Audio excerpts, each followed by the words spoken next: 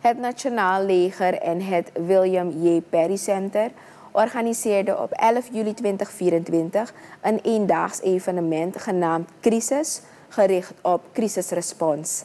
Deelnemers van verschillende departementen, waaronder Korpspolitie Suriname, NCCR, de Kustwacht en officieren van het Nationaal Leger, namen deel aan een tabletop exercise. Het doel was om besluitvormingsfunctionarissen van veiligheidsinstituten te trainen door scenario's te bespreken en mogelijke besluitfouten te identificeren.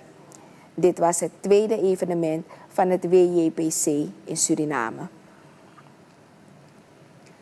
De Stichting Productieve Werkeenheden, SPWE, startte op 18 juli 2024 met de renovatie van hun faciliteit aan de Sinaasappelstraat, gefinancierd door de Caribbean Development Bank. Minister Stephen McAndrew prees het project en benadrukte het belang voor micro-ondernemers.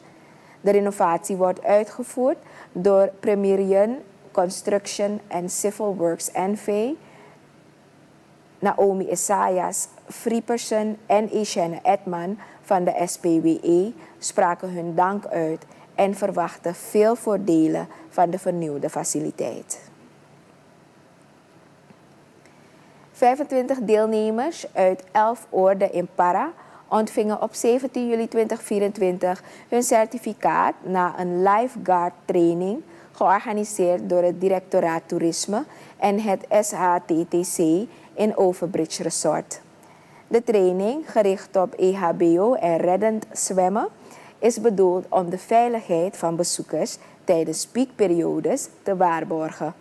Directeur Toerisme Rabin Buddha benadrukte het belang van dergelijke initiatieven voor de toeristische sector.